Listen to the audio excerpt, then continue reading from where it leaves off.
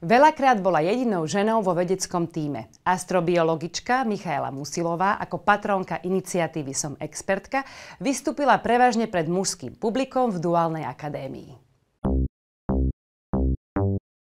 Návšteva veliteľky Michaely Musilovej na pôde strednej automobilovej školy bola pre študentov určite zážitkom astrobiologička a veliteľka desiatok simulovaných marťanských misií, ktorá spolupracuje s vesmírnymi agentúrami ako NASA či ESA, vo svojej prednáške priblížila svoj sen aj cestu, ktorú kvôli nemu podnikla. Pre mňa je veľmi dôležitá popularizácia, hlavne aby človek mohol priblížiť vedu verejnosti a mladým ľuďom.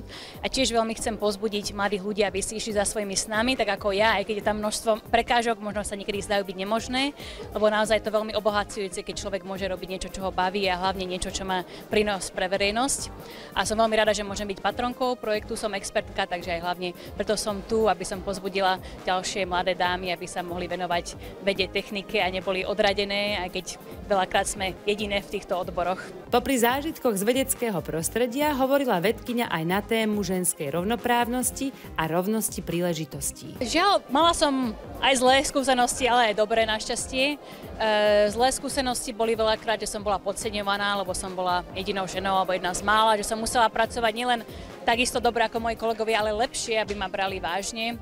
E, tiež e, boli rôzne situácie diskriminácie e, počas rôznych projektov, že niekto keby prevzal môj projekt namiesto mňa, alebo som mala niekoľko možností do Antarktídy a moji vlastní vedúci mi zobrali miesto alebo ma nechceli pustiť len za to, že som žena a takéto rôzne nepekné situácie, ale zase boli aj dobré, našťastie, kde zase ma veľa ľudí pozbudilo, či už to boli muži, ženy, mi pomohli rôznymi spôsobmi spôsobmi. Takže akadémia vie byť náročná a preto ja som sa rozhodla aj s vlastnou cestou, kde chcem vytvoriť veľa podmienok pre hlavne ženy, aby sa tam lepšie cítili, mal, boli, nemuseli sa nejakým spôsobom dokazovať, že sú lepšie iné a tak ďalej, ale naopak, aby konečne tam bola viac, bolo viac tej rovnocennosti. Michála ako veliteľka na 30 simulovaných misiách na Mesiac a Mars a vedkynia vo viacerých iných projektoch sa rozhodla vymyslieť si vlastný projekt podľa svojich predstav.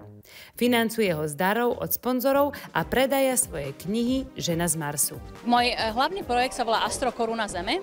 Cieľom projektu je výjsť na najvyšší vrchol každého kontinentu a počas toho robiť vedecký výskum, vzdelávacie a popularizačné aktivity. Eh, napríklad sú to, to výskum spolupráci s NASA, kde pokračujem študovať eh, extrémne organizmy, čo dokážu teda prežiť veľmi extrémne podmienky a tie nám dajú nádej, že kde teoreticky by sme mohli nájsť život inde vo vesmíre, kde sú podobné podmienky.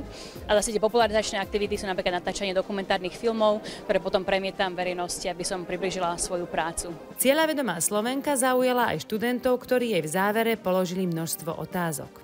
Michaela, ktorá pôsobí aj ako hostujúca profesorka na Slovenskej technickej univerzite, je inšpiráciou nielen pre mladých talentovaných vedcov, ale aj pre všetkých Slovákov a najmä Slovenky, aby si išli za svojimi snami, hoci aj za hranice svojej krajiny.